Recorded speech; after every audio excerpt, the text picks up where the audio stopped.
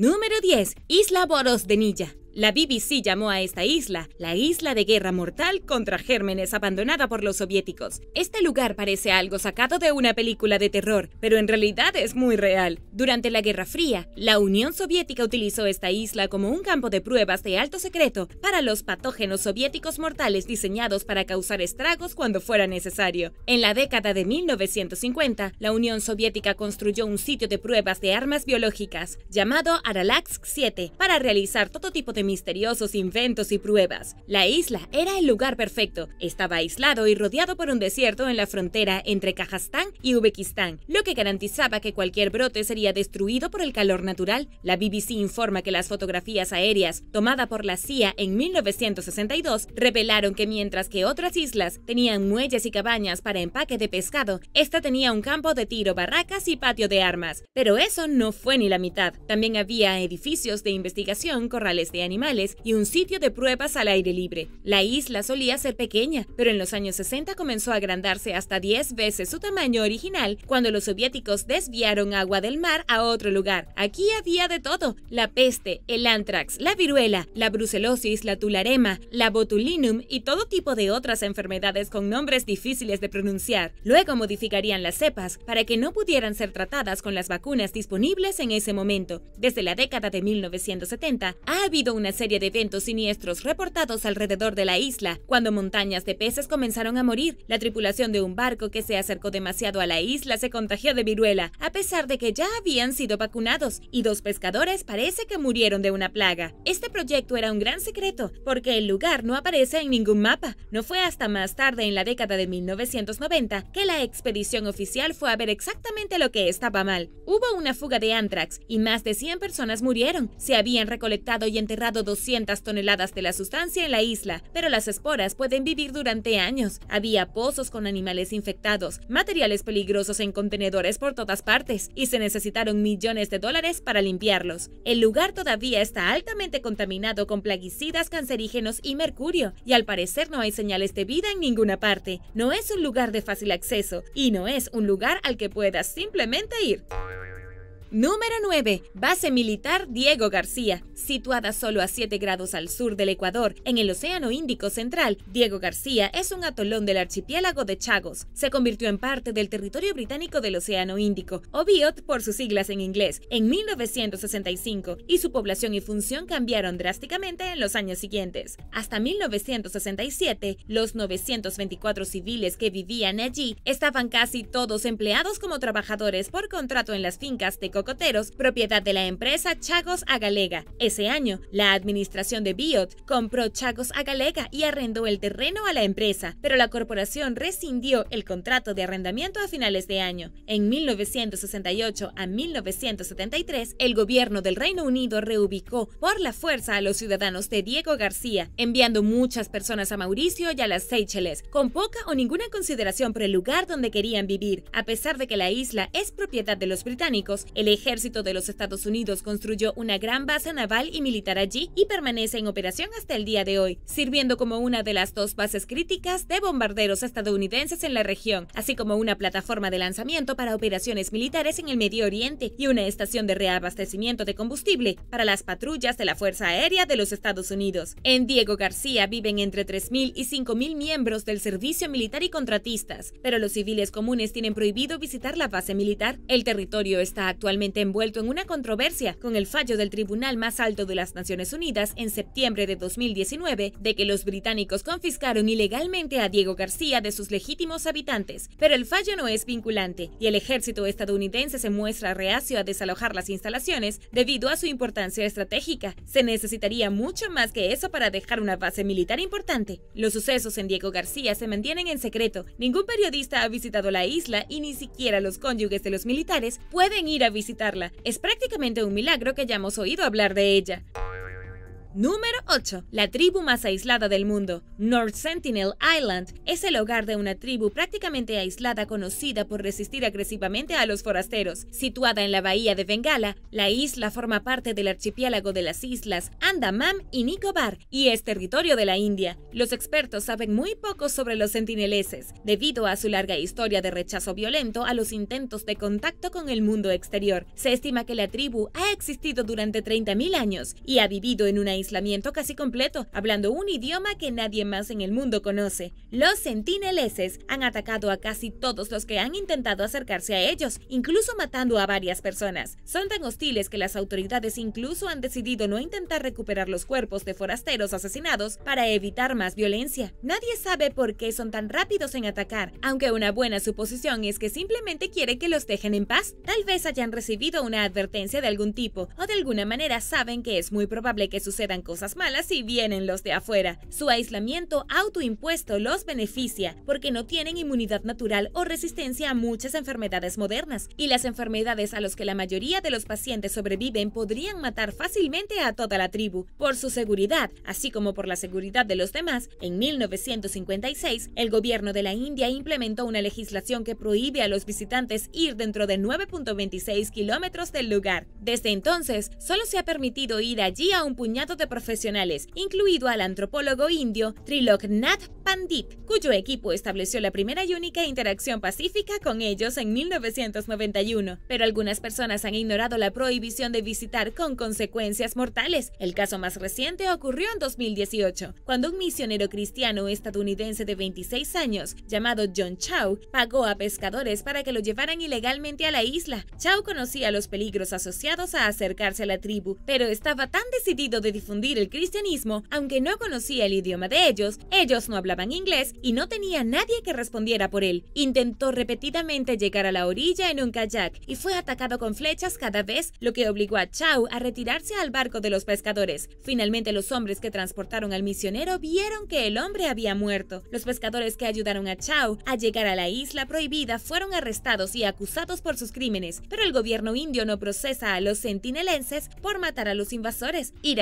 sigue estando prohibido por la seguridad de todos. Y ahora el número 7. Pero primero, si eres un suscriptor que regresa, bienvenido de nuevo. Y si eres nuevo por aquí, asegúrate de suscribirte y hacer clic en la campanilla de notificaciones, así no te perderás los próximos videos.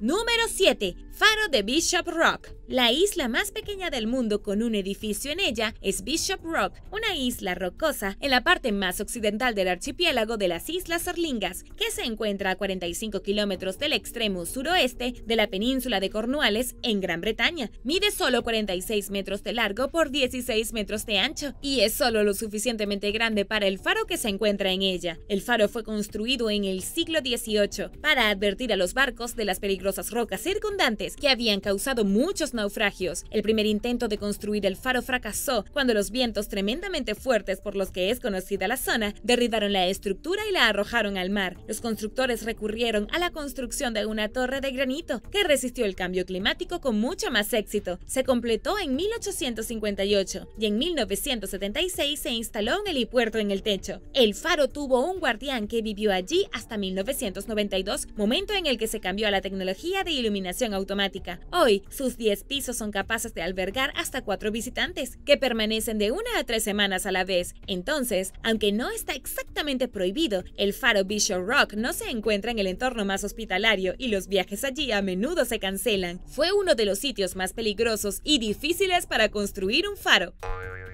Número 6. Túneles submarinos de Vis. La isla de Vis, en Croacia, no solo es hermosa, sino que tiene bastante pasado militar. Durante la Segunda Guerra Mundial, los alemanes tomaron el control de la isla de importancia estratégica y construyeron numerosas estructuras, incluida una base de submarinos, así como el túnel subterráneo secreto y una red de cuevas. Hay más de 35 lugares conocidos que fueron construidos con fines militares. Posteriormente, cayó en manos de Yugoslavia y se convirtió en un lugar muy importante para el líder Hitler, Joseph Broz Tito, quien reutilizó las estructuras dejadas por los nazis en la isla Vis para su ejército comunista. En el medio de la isla había un gran cañón y una base de misiles para protegerla del ataque. La isla de Vis estuvo cerrada a los visitantes extranjeros hasta algún tiempo después de 1989, cuando la desintegración de Yugoslavia comenzó a afianzarse. Casi al mismo tiempo, el ejército de Tito abandonó su base en la isla. Incluso durante un tiempo, hubo partes de la isla a las que no se podía ir, incluida la base de submarinos, que ahora es un lugar popular para los yates furtivos. Los lugareños estaban desesperados porque los militares se fueran para poder finalmente abrir la isla a los extranjeros. Además de las visitas guiadas a través de las estructuras militares una vez prohibidas, es posible que se reconozca esta isla como el lugar donde Mamma Mía fue filmada.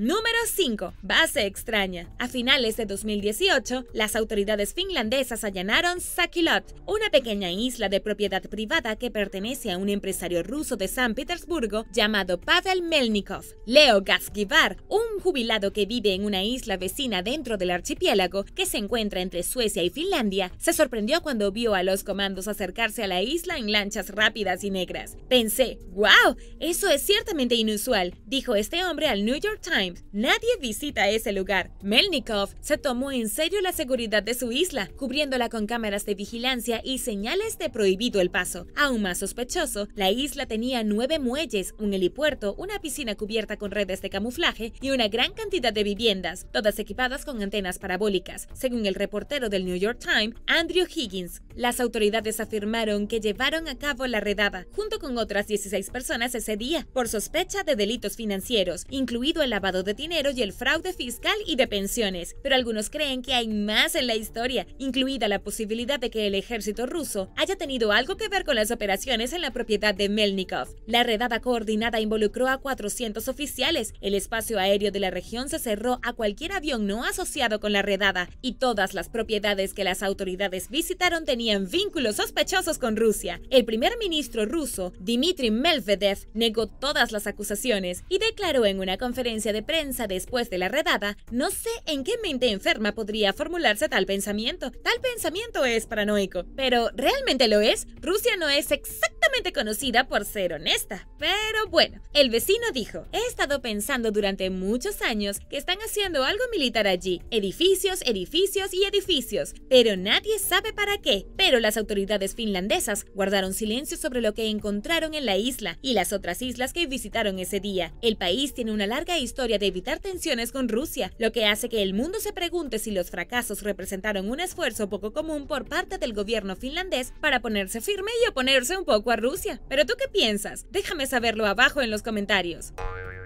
Número 4. Instalación de prueba secreta. A partir de 1942, durante la Segunda Guerra Mundial, la isla Gruinat de Escocia se convirtió en una instalación de prueba de alto secreto para armas biológicas. El gobierno del Reino Unido usó la pequeña isla deshabitada, ubicada en las tierras altas de Escocia, para experimentar con una bacteria mortal llamada Volum 14578, que empaquetaron en bombas y probaron en rebaños de ovejas inocentes y desprevenidas. La conclusión general del proyecto fue que la sustancia era, sin duda, capaz de contaminar ciudades alemanas enteras durante décadas. En consecuencia, el sitio donde ocurrieron las pruebas se envenenó y permaneció así durante casi 50 años. A principios de la década de 1980, una organización llamada Operación Cosecha Oscura envió por correo muestras del suelo tóxico de la isla a varias agencias gubernamentales británicas, exigiendo que limpiaran el territorio contaminado. El gobierno comenzó a hacerlo en 1986, rociando una mezcla de formaldehído y agua de mar en la isla. De 1990, la propiedad tóxica fue declarada oficialmente segura. Los documentos sobre la historia de lo sucedido allí fueron desclasificados en 1997, poniendo por primera vez a disposición del público la turbia situación. Tras los esfuerzos de descontaminación, se dejó un rebaño de ovejas en la isla y ninguna de ellas ha dado positivo por veneno desde 2007, pero algunas personas creen que la isla podría estar tóxica aún y no están dispuestas a correr el riesgo de ir a ninguna parte cerca de ella.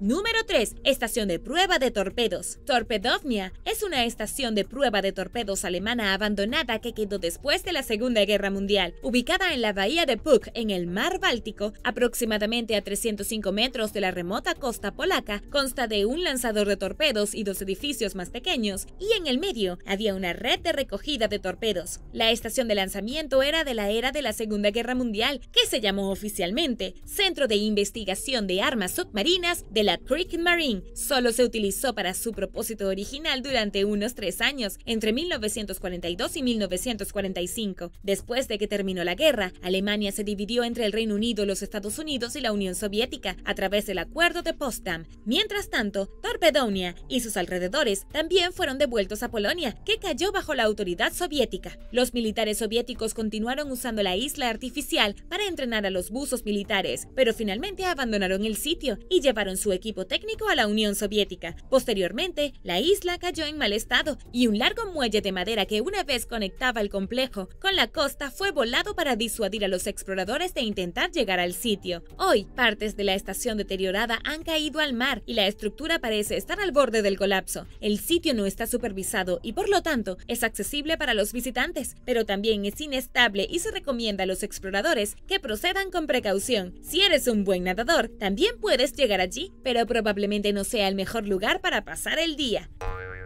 Número 2. Vida silvestre protegida. Las Islas Farallón están ubicadas a 45 kilómetros de la costa de San Francisco. Consta de cuatro grupos de islas que abarcan un área de 85 hectáreas. Lo más cerca que la mayoría de la gente llega a las Islas Farallón es pasar por ellas durante un recorrido en bote, ya que están cerradas al público para proteger la vida silvestre. El tramo de agua entre San Francisco y el grupo rocoso de islas es conocido por ser frío, turbulento y lleno de tiburones. Y debido a estos peligros, muchos Muchas personas se niegan incluso a acercarse a las islas. En 2012, por ejemplo, 5 de 8 miembros de una tripulación fallecieron cuando su yate se estrelló contra las rocas y se hundió durante la carrera anual de barcos Full Crew Farallones. El editor de la revista Sail, Kim Van Livingston, le dijo al San Francisco Chronicle después de la tragedia, incluso un miembro del ejército sentiría pánico en esta situación. Me sorprende que alguien haya sobrevivido. Cualquiera lo suficientemente loco como para intentar colarse a las islas está condenado al fracaso. Las traicioneras costas rocosas impiden que los barcos simplemente naveguen hasta la costa. Los investigadores que visitan la isla se trasladan de un barco grande a uno pequeño, que luego es elevado a la isla por una grúa. Hay dos casas en el sureste de las islas, que albergan a investigadores y científicos que monitorean las tendencias de la población de la vida silvestre en las islas. Las islas albergan la colonia de aves marinas nidificantes más grandes de los Estados Unidos y a menudo sirven como punto de referencia para especies de aves de otras regiones que se pierden durante la migración. En 2015, la nadadora de maratones Kim Chambers se convirtió en la primera mujer y la quinta persona en nadar desde la isla hasta el puente Golden Gate. Ella era consciente de los peligros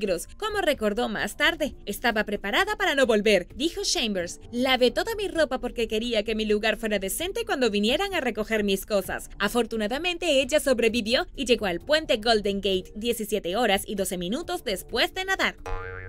Número 1. Último paraíso. El archipiélago Merwi de Birmania es una cadena de más de 800 islas, en gran parte inexploradas y en su mayoría deshabitadas, algunas de las cuales albergan a los Moken, una tribu de nómadas marineros que viven de lo que pescan en el océano, duermen en botes y viven al estilo de vida de cazadores-recolectores. En lugar de utilizar equipos modernos, los Moken utilizan pequeñas redes y lanzas. También se les conoce como gente de agua o gitanos de mar. Su filosofía es tener un impacto mínimo en el medio ambiente y que los recursos naturales no pueden ser de propiedad individual, comparten el territorio pristino con numerosas especies raras de mamíferos y aves marinas. Las estimulaciones sitúan la población de Moken en cualquier lugar, entre unos cientos y tres mil, y hablan un idioma único que es desconocido para el mundo exterior. Pero la población de Moken está disminuyendo y su medio ambiente está amenazado. Durante décadas, el gobierno birmano prohibió al público visitar las islas. El turismo comenzó durante la década de 1990, Pero el peor daño se produjo a partir de 2011, cuando las autoridades comenzaron a aceptar propuestas de desarrollo a los inversores. Hoy en día, las islas están siendo invadidas cada vez más por turistas, empresarios, madereros, pescadores y otros que buscan sacar provecho de los vastos recursos naturales y la belleza del archipiélago. Porto Flavia, el puerto marino de Porto Flavia en Italia, no se parece a ningún otro lugar del mundo. Situado en Cerdeña, a primera vista parece un pequeño castillo excavado en la roca,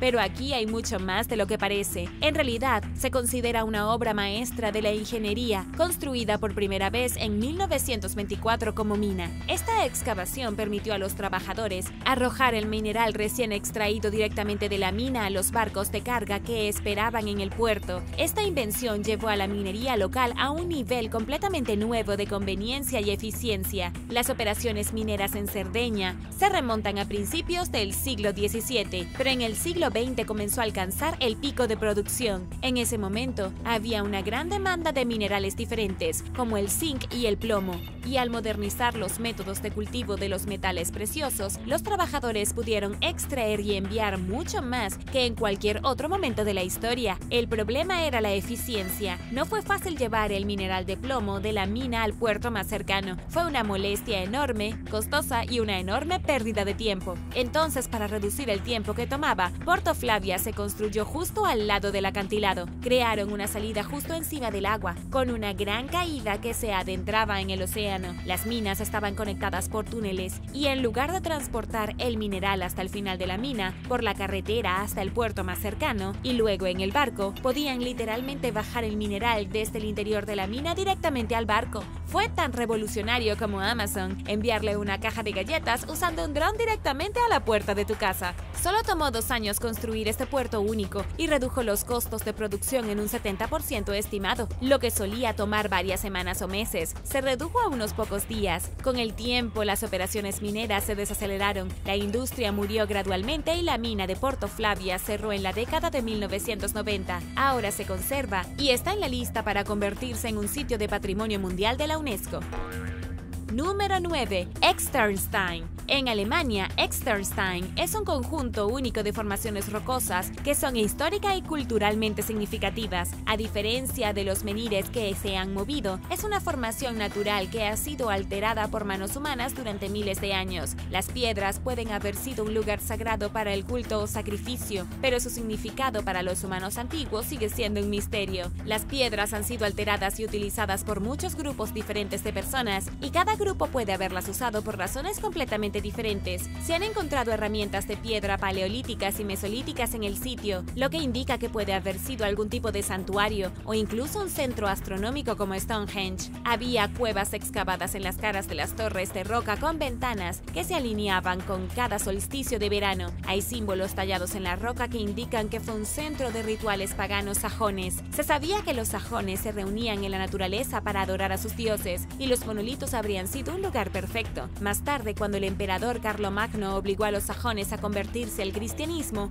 destruyó los templos paganos y ordenó que sus lugares sagrados fueran marcados con una cruz cristiana. Se construyó un monasterio aquí, fundado en el siglo IX. Durante ese tiempo, los monjes tallaron escenas religiosas en la roca. Las barandillas de piedra se construyeron en 1663, mucho después de la desaparición de los antiguos sajones. Después de Carlomagno y los monjes, en la era de los nazis, Hilmer hizo excavaciones aquí para buscar pruebas de una antigua civilización germánica, aunque nunca encontró nada. Estas rocas sagradas han visto mucho a lo largo de los años, pero no mucha gente las conoce fuera de Alemania. Ahora es un sitio para que los lugareños vayan a caminar y hacer senderismo.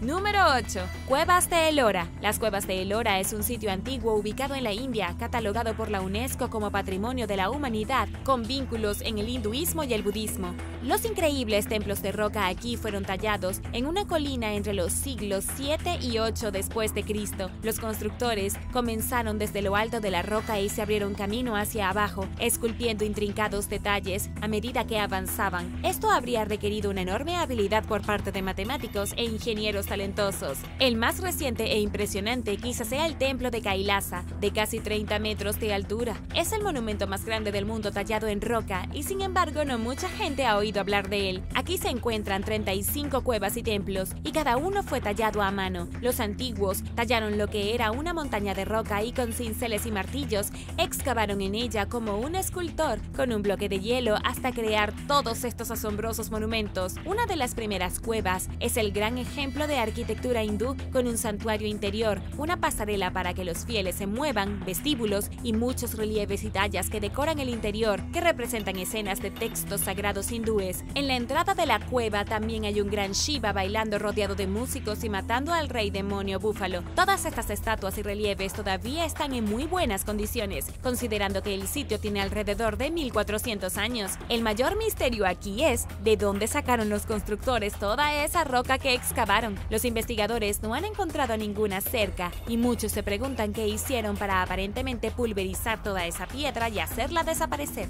Y ahora el número 7. Pero primero si eres un suscriptor que regresa, bienvenido de nuevo. Y si eres nuevo por aquí, también asegúrate de suscribirte y hacer clic en la campanilla de notificaciones, así no te perderás los próximos videos.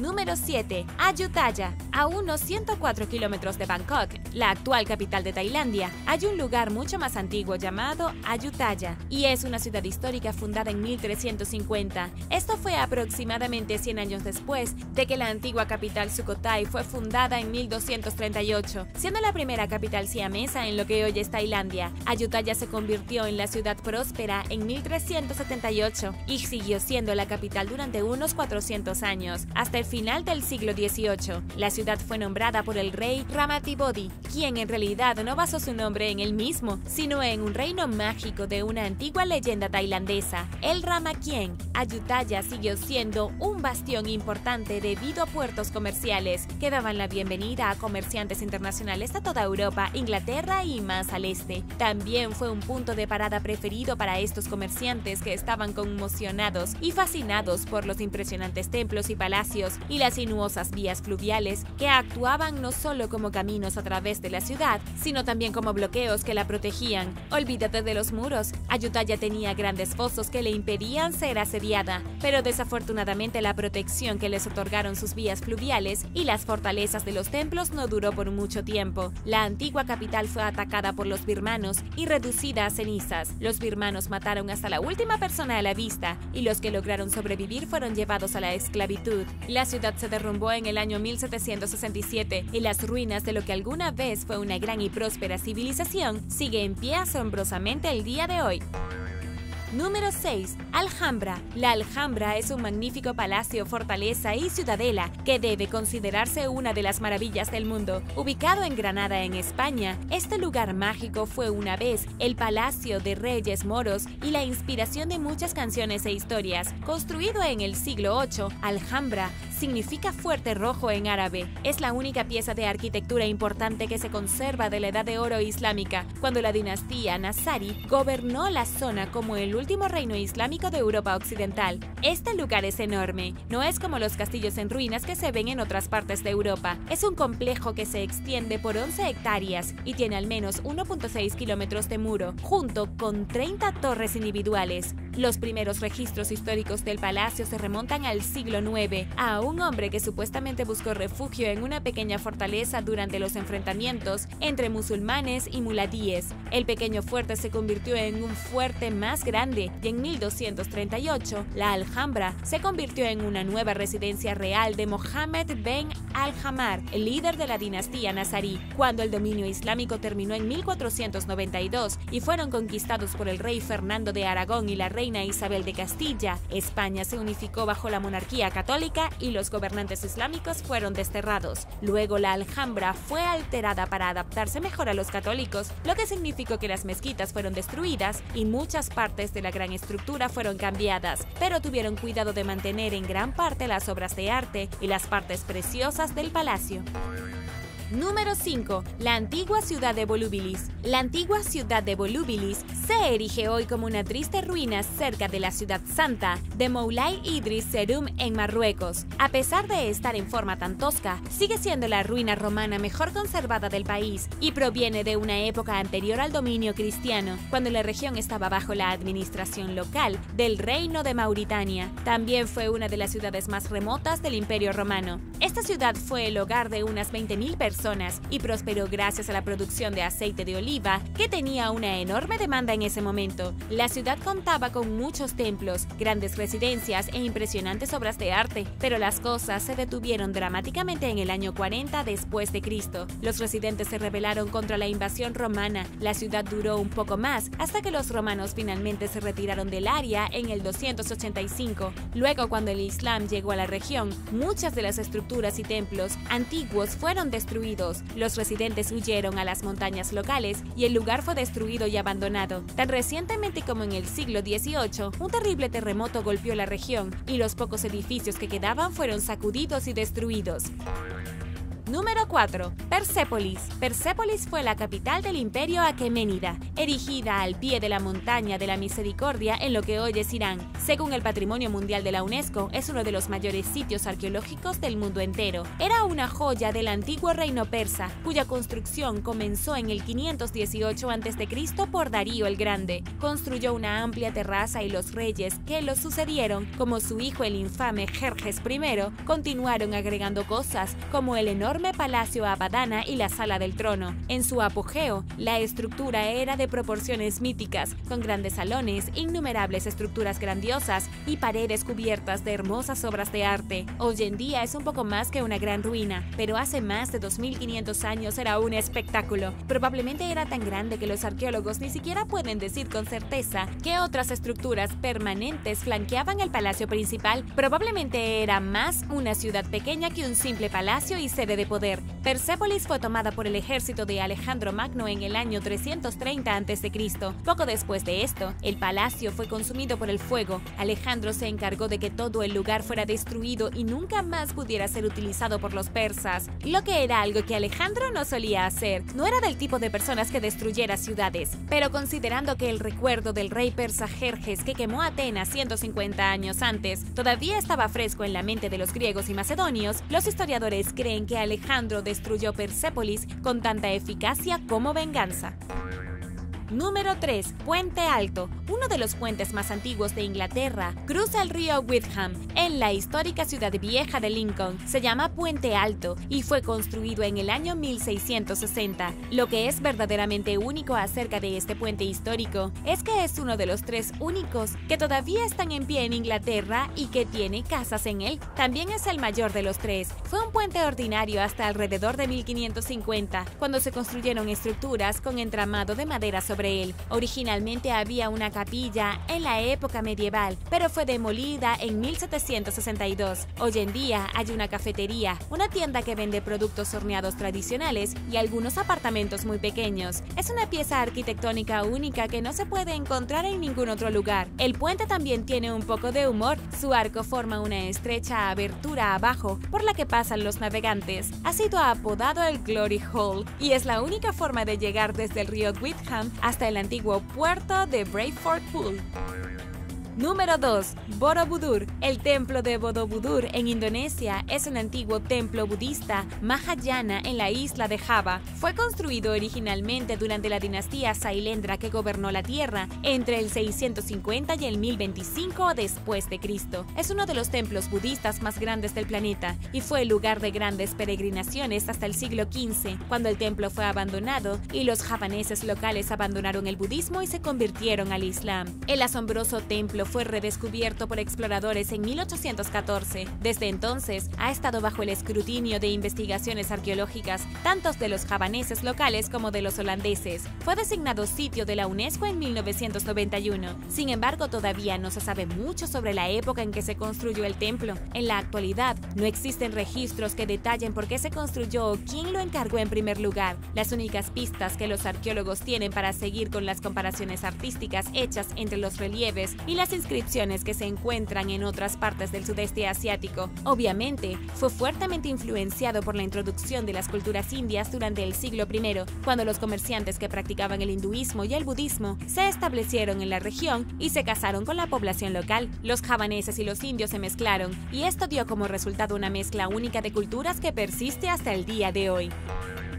Número 1. La ciudad prohibida. La ciudad prohibida se encuentra en el corazón de la capital china de Beijing. Es una ciudad autónoma por derecho propio, amurallada del resto de Beijing por un foso gigante de hasta 46 metros de ancho en algunos lugares. Es absolutamente enorme y se compone por más de 90 complejos palaciegos y 98 edificios. Es un vestigio misterioso de cómo se veían las antiguas dinastías chinas que gobernaban desde dentro de las murallas. Este fue el centro de China durante más de 500 años, tanto política como ritualmente. La construcción de la ciudad prohibida comenzó en 1402, cuando el emperador Shenzhou cambió la capital de Nanjing a Beijing para comenzar su propia ciudad. Se completó en 1420 y desde entonces ha sido el hogar de dos docenas de emperadores tanto de la dinastía Ming como de la dinastía Qing. El último emperador de China imperial vivió dentro de la ciudad prohibida, pero fue expulsado en 1925. Hasta el día de hoy, la ciudad prohibida sigue siendo un sitio de patrimonio cultural más importante de la República Popular de China.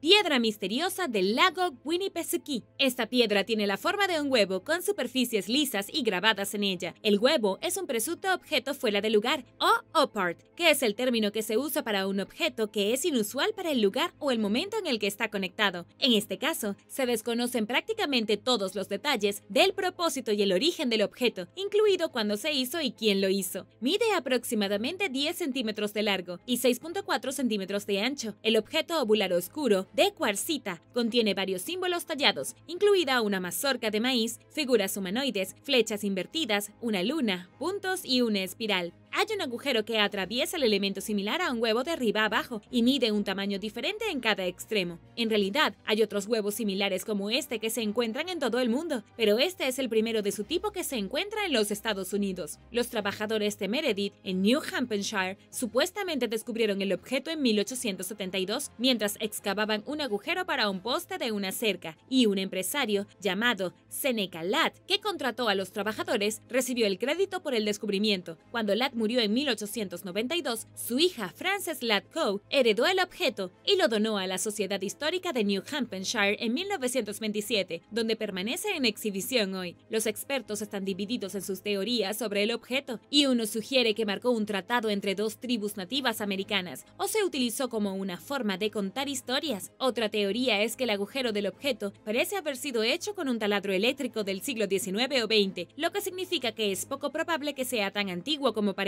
pero nadie ha determinado de manera concluyente de dónde proviene la piedra misteriosa o por qué se creó. Pero, ¿cuál es tu teoría favorita? ¿Para qué crees que fue hecho? Déjame saberlo abajo en los comentarios. Número 8. Piedra Talcadí. La piedra talcadí es una pequeña losa de piedra caliza en forma de abanico, dividida en cinco segmentos, cada uno de los cuales contiene varias figuras, a saber, estrellas, a lo que parecen ser lunas crecientes. Fue descubierta en el complejo del templo Talcadí en Salina, Malta, y actualmente se exhibe en el Museo Nacional de Arqueología de la Veleta. Es probable que la piedra sea un fragmento de una obra de arte más grande, tal vez un calendario de algún tipo, tal vez para trazar las estrellas o la luna, pero nadie sabe exactamente a qué equivale este panorama general, incluido qué tipo de calendario, si es uno y cuál es su propósito. En 2017, un geógrafo y científico del arte llamado Kai Helchworth afirmó que había descifrado el misterio tras la piedra. Él cree que el objeto es una antigua herramienta de navegación que detalla tanto las estrellas como las corrientes de agua del Mediterráneo. La forma que parecía, a simple vista, ser una luna es, de hecho, un barco según Worth, quien dijo que se dio cuenta de esto cuando iluminó la losa desde un ángulo diferente.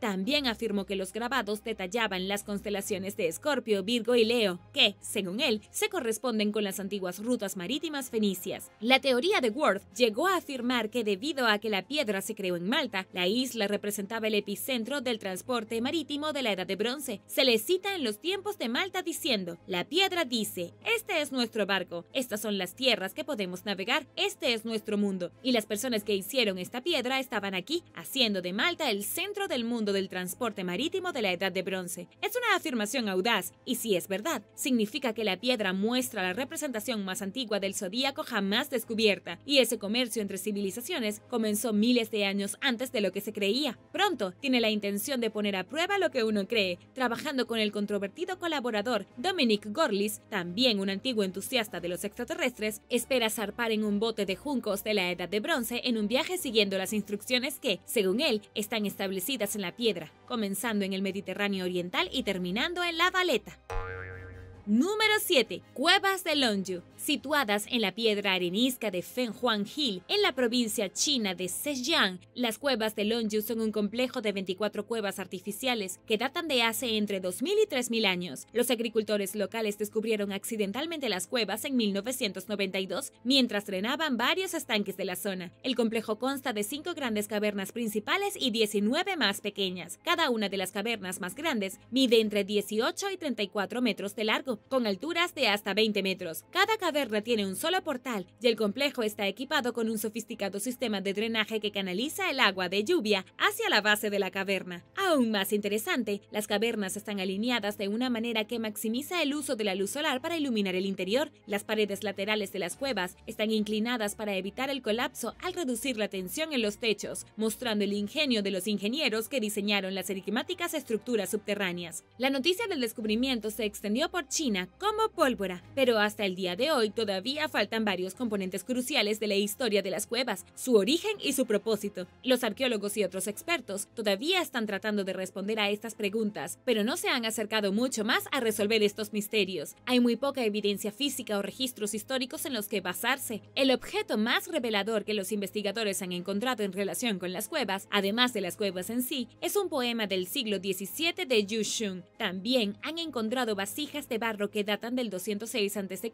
hasta el año 23 después de Cristo, en los pisos complejos, que es lo que les ayudó a determinar que las cuevas tienen al menos 2000 años de antigüedad. Hay varias teorías sobre por qué se construyeron las cuevas, que incluyen la posibilidad de que sirvieran como mausoleo, canteras, almacenamiento subterráneo, depósitos, campamentos militares, un palacio, viviendas taoístas o un sitio ceremonial donde se hicieron ofrendas a dioses y antepasados. Si bien varias de estas teorías son plausibles, no hay suficiente evidencia concreta para respaldar ninguna de ellas, lo que deja a los expertos sin una explicación sólida sobre quién construyó las cuevas de Longyu y cuál era su propósito original. También están desconcertados por el conocimiento de la ingeniería que estuvo detrás de la construcción de las cuevas, que parece demasiado avanzada para su edad. Quizás las personas que construyeron las cuevas merecen más crédito que el que se les ha otorgado, pero esto no explica completamente su historia. Y ahora el número 6. Pero primero, muchas gracias por todo su apoyo al canal. Y si tú eres nuevo por aquí, también asegúrate de suscribirte y hacer clic en la campanilla de notificaciones, así no te perderás los próximos videos.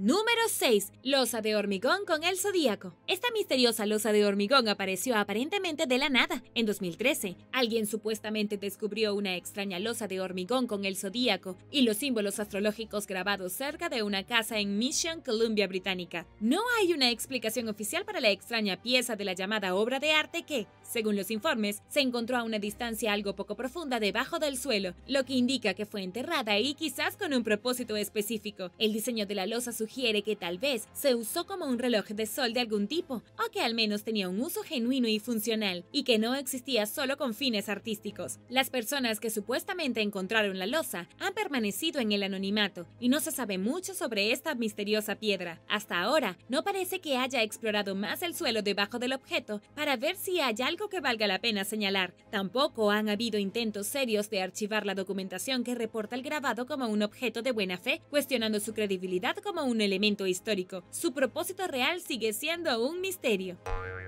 Número 5. Figuras de Dogu. El período histórico identificable más antiguo de Japón es el período Yomon, que se cree que la gente de esta época creó las primeras formas de cerámica del mundo. Tienen vasijas y recipientes muy elaborados, pero sus piezas más conocidas son figurillas de animales y humanos conocidas como Dogu, algunas que datan del período incipiente, que se remonta al 14.000 a.C. hasta el 4.000 a.C., mientras que la mayoría provienen del período medio, del 3.000 al 2.000 a.C. Aunque las funciones exactas de las piezas siguen sin ser claras, son reconocibles por sus ojos grandes y saltones que parecen un grano de café. El Met dice que los ojos a menudo se comparan con las gafas de nieve que usan los Inuit en América del Norte. La nariz y la boca están simplemente sugeridas por pequeños agujeros. Una corona se asienta sobre la cabeza de la figura y su cuerpo está decorado con líneas profundamente incisas y áreas impresas con marcas de cordones que pueden representar tatuajes. Los expertos creen que pueden haber de naturaleza polivalente y que las figurillas de Togu tenían una importancia chamánica y ritual. Esta noción está respaldada por el hecho de que muchas, sino la mayoría de las figurillas, se encontraron en círculos de tumbas y círculos de piedra, lo que además implica que tenían algún tipo de uso percibido en la otra vida. A menudo enfatizaban el pecho y las caderas, lo que indica que pueden haber sido símbolos de fertilidad, pero el significado exacto de las pequeñas estatuas sigue siendo un misterio. Hasta ahora se han encontrado alrededor de 18.000 de estos objetos, y la mayoría data de entre 2.000 a 10.000 años. La cerámica se ha encontrado en casi todo el archipiélago japonés, lo que sugiere que la cultura estaba bastante extendida entre las islas. Además, las figurillas sufrieron varios cambios a lo largo del tiempo, lo que demuestra que la cultura Yomon poseía tanto técnica como sofisticación en sus métodos. Pero ¿para qué crees que se usaron estas figurillas? ¿Te gustan? Déjame saberlo abajo en los comentarios.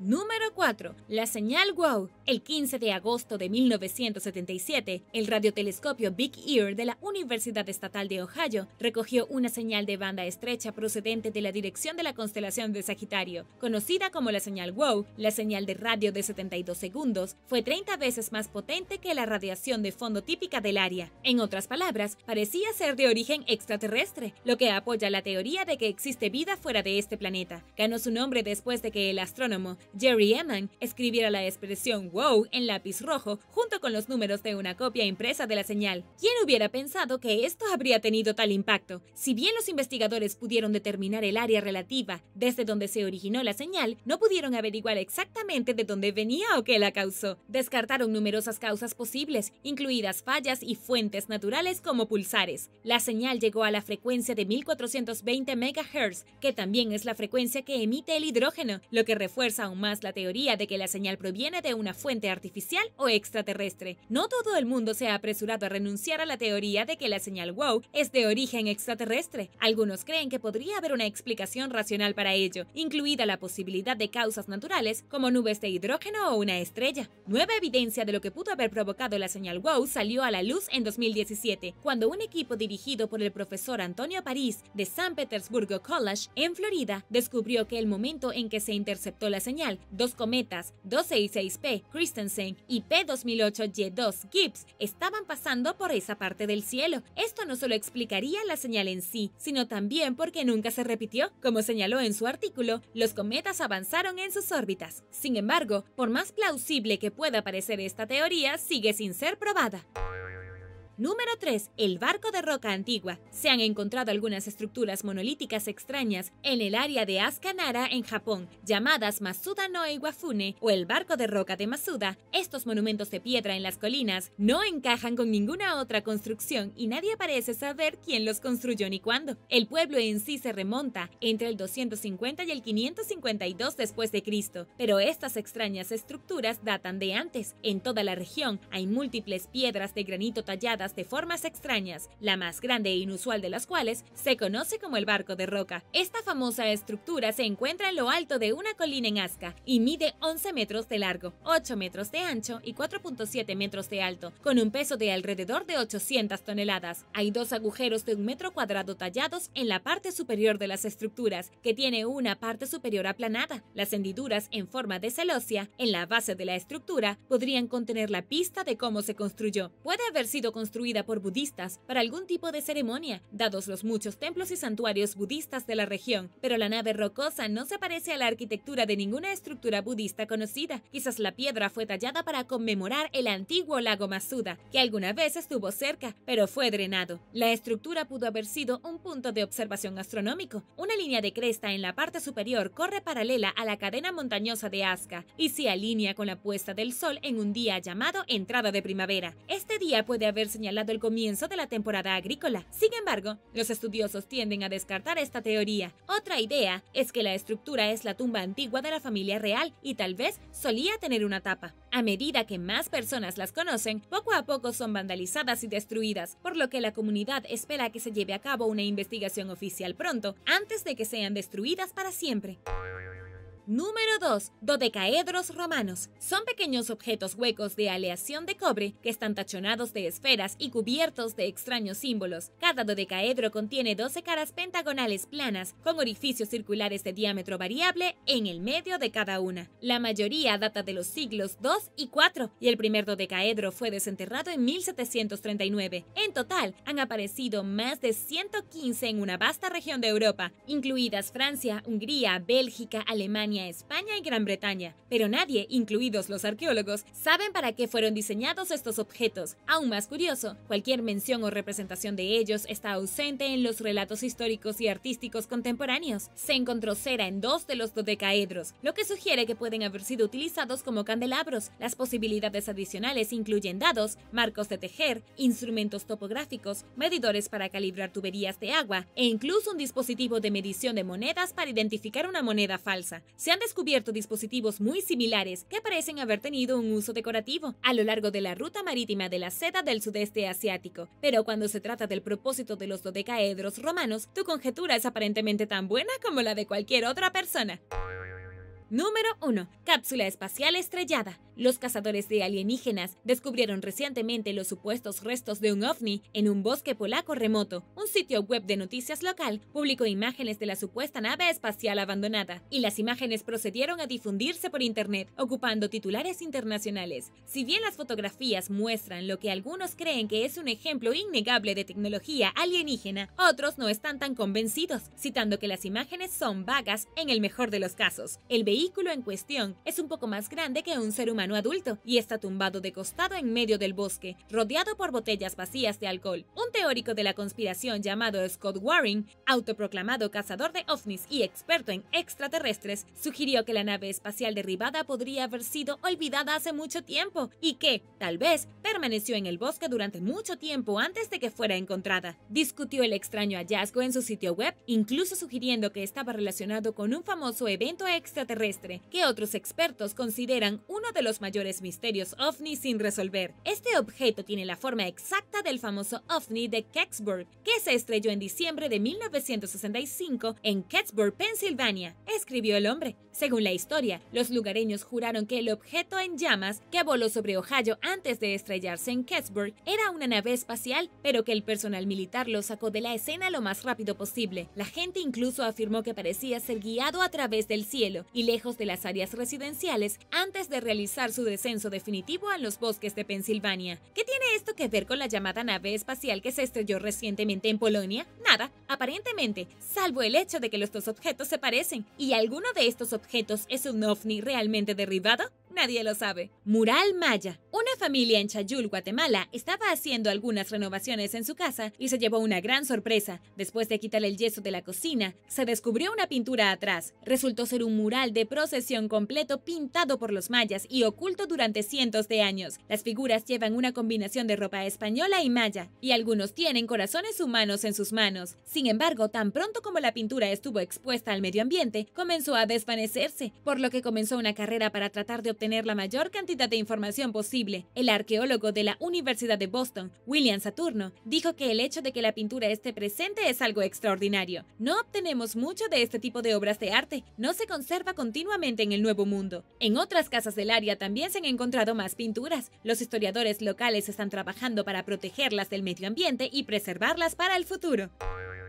Número 7. Cuenco de la dinastía Song. Todo buen buscador de tesoros sabe que algunos de los mejores hallazgos se pueden obtener en una venta de garaje local. La basura de un hombre puede ser el tesoro de otro, que fue exactamente lo que le sucedió a un comprador afortunado en el estado de Nueva York en 2007. Por solo 3 dólares, el afortunado comprador terminó con un cuenco chino raro, con un esmalte de color marfil y hojas de loto talladas por dentro y por fuera. Un maravilloso ejemplo de cerámica de la dinastía Song del Norte. El cuenco cuenco Dean es solo uno de los dos cuencos conocidos y el otro se ha exhibido en el Museo Británico durante más de 60 años. Después de exhibir el cuenco durante varios años, el nuevo propietario sintió curiosidad por él y se dispuso a tasarlo. Con un diámetro de solo 13 centímetros, se estimó que el cuenco valía entre 200 mil y 300 mil dólares. Si bien puede no parecer mucho a primera vista, su rareza y el hecho de que tenga mil años llevaron a una guerra de ofertas y el cuenco terminó vendiéndose por 2.2 millones de dólares. Sotheby's lo describió como extraordinario y excepcionalmente hermoso. El cuenco finalmente se vendió a un comerciante de Londres rompiendo varios récords.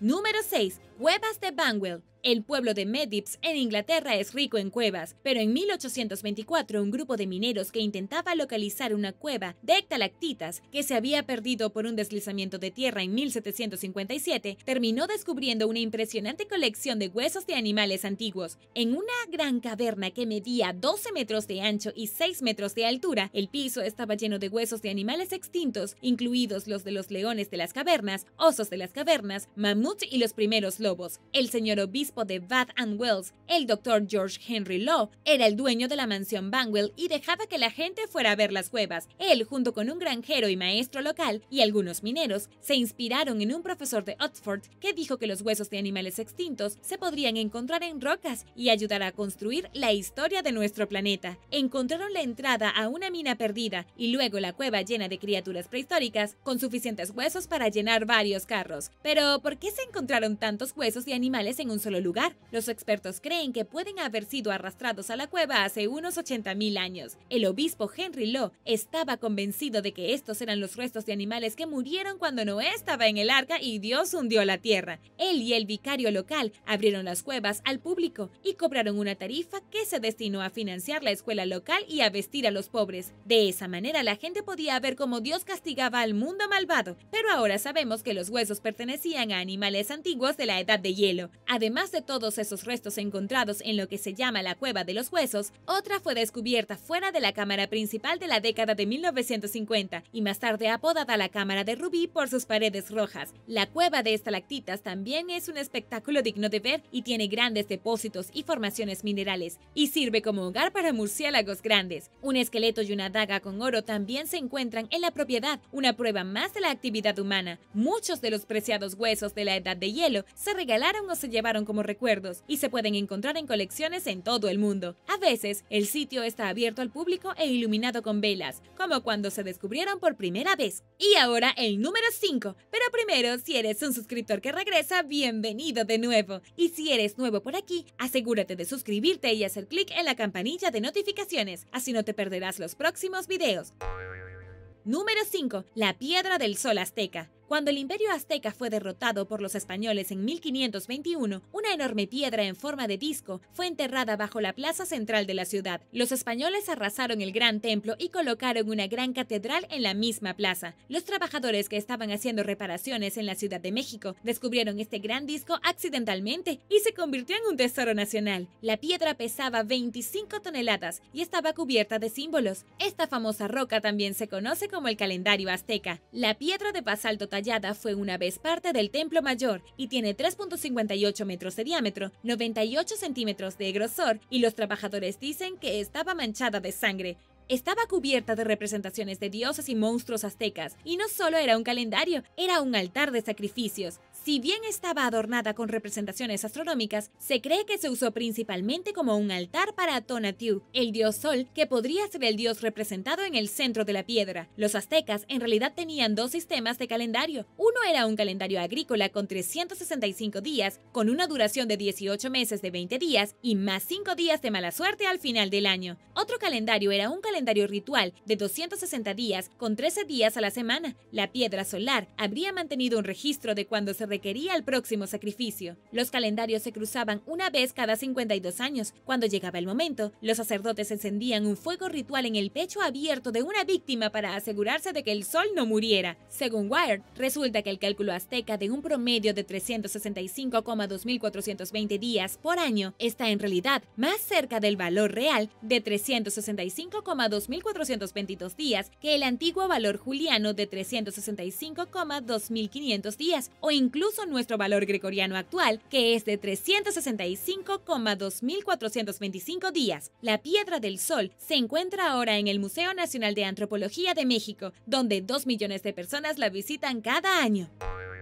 Número 4. Bóvedas de Sutbridge. Edimburgo, en Escocia, es bien conocida por sus castillos, pero debajo de la antigua ciudad fortificada se encuentra otro sitio histórico. Los túneles y las cámaras subterráneas que han albergado a los ciudadanos más empobrecidos y villanos de la ciudad fueron el hogar de tiendas y viviendas durante siglos, desde el siglo II después de Cristo. Más tarde, construidas en fortificaciones para proteger a los ciudadanos de los invasores en el siglo XII, las bóvedas de Edimburgo fueron un componente importante de la ciudad. Cuanto más cerca vivías del castillo de Edimburgo, mejor se construían los puentes para atravesar los profundos barrancos alrededor del castillo. Usando 19 arcos para sostener el puente sur, se establecieron bóvedas amuralladas, cámaras y túneles debajo de la superficie superior del puente. Con más de 120 bóvedas o habitaciones construidas debajo de Bridge, era un lugar en auge donde prosperaron las empresas, talleres y comerciantes, pero eso no significaba que sus residentes aún no tuvieran problemas. A medida que la ciudad subterránea continuó creciendo, se hizo más profunda y las áreas más bajas y oscuras reservadas para las clases sociales más pobres. Comprensiblemente, las condiciones de vida eran malas, con hacinamiento, altas tasas de mortalidad y sin saneamiento de agua corriente, lo que era perfecto para propagar enfermedades. Incluso hay informes de un par de asesinos en serie que trabajaban en las bóvedas, matando y escondiendo los cuerpos de las personas allí. A medida que los barrios marginales continuaron deteriorándose, los residentes siguieron adelante y finalmente las entradas se cerraron y se llenaron de escombros. Las bóvedas fueron redescubiertas accidentalmente en la década de 1980, cuando un jugador de rugby escocés encontró un túnel en un edificio que conducía a las cámaras ocultas. De hecho, usó estos túneles para ayudar a un jugador de rugby rumano a escapar de la policía secreta y buscar asilo político. Se retiraron cientos de toneladas de escombros, desenterrando innumerables restos del pasado, como frascos de medicinas, artículos para el hogar, juguetes de niños, etc. Algunos también creen que al desenterrar el pasado, los espíritus de los asesinados en las bóvedas llevaron a los eventos paranormales que continúan acechando las cámaras. Esta área subterránea es bastante espeluznante y los testigos afirman sentir ráfagas de aire frío, escuchar voces extrañas e incluso sentir manos fantasmales.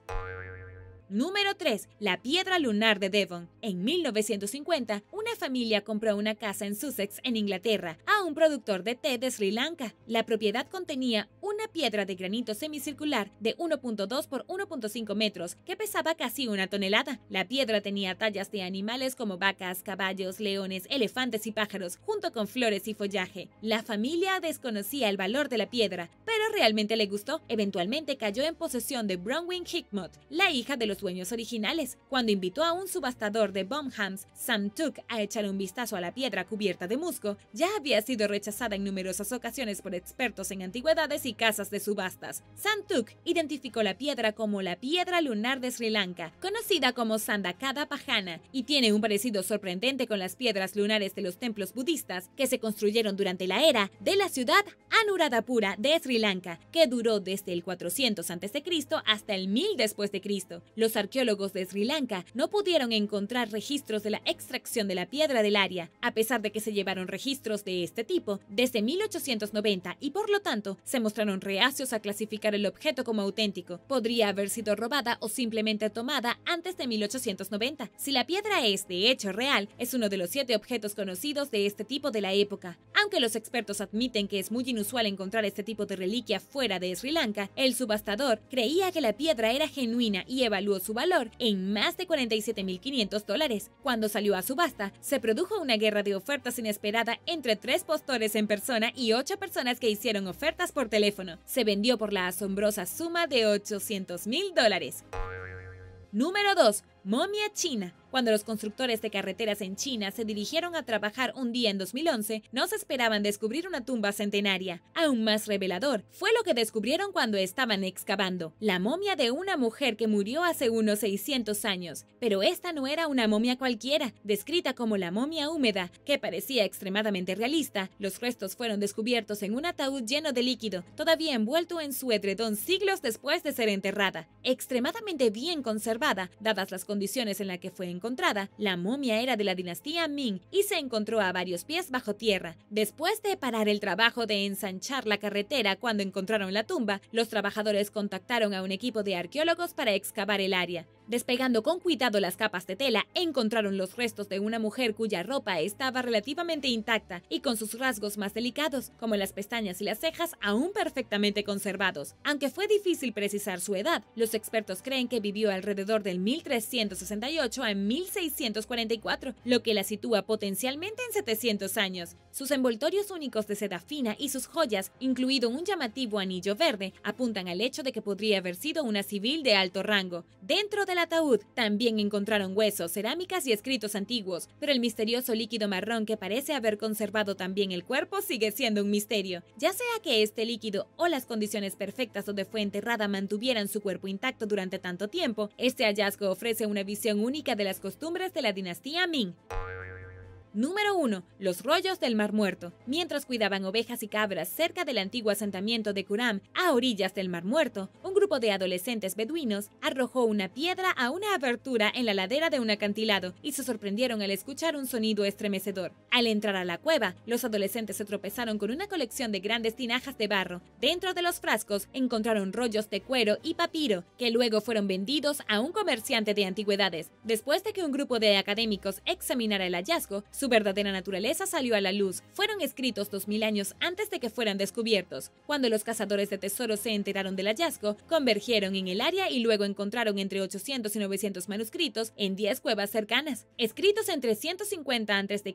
y el año 70 después de Cristo, el origen de los rollos todavía está en debate. Algunos piensan que pertenecían a una población judía conocida como asenios, una secta devota que vivía en un asentamiento alrededor del año 70 después de Cristo. Se encontraron ruinas de baños rituales judíos en las cercanías de Kuram, lo que da más evidencia de su origen, pero otros grupos, incluidos los primeros cristianos y los judíos que pasaron por la zona mientras huían de los romanos, también podrían haberlos creado. Los rollos incluyen fragmentos de casi todos los libros del Antiguo Testamento, pero aunque la mayoría de los rollos están escritos en hebreo, algunos de los fragmentos tienen un alfabeto paleohebreo que desapareció en el siglo V a.C. También hay muchos otros documentos que no se incluyeron en la Biblia. Uno de los pergaminos más singulares tiene un antiguo mapa del tesoro con ubicaciones para docenas de joyas de oro y plata. El mapa del tesoro, que describe 64 escondites subterráneos alrededor de Israel, presenta letras hebreas y griegas cinceladas en las láminas de metal. Esto se conoce como un pergamino de cobre, pero nunca se ha encontrado ninguno de estos tesoros. Aunque cada rollo es diferente del siguiente, cada uno habla de la importancia fundamental de la religión para los pueblos que los escribieron. Considerado como uno de los mayores descubrimientos del mundo entero, los científicos e investigadores todavía están reconstruyendo fragmentos de los pergaminos y aprendiendo más y más cada día.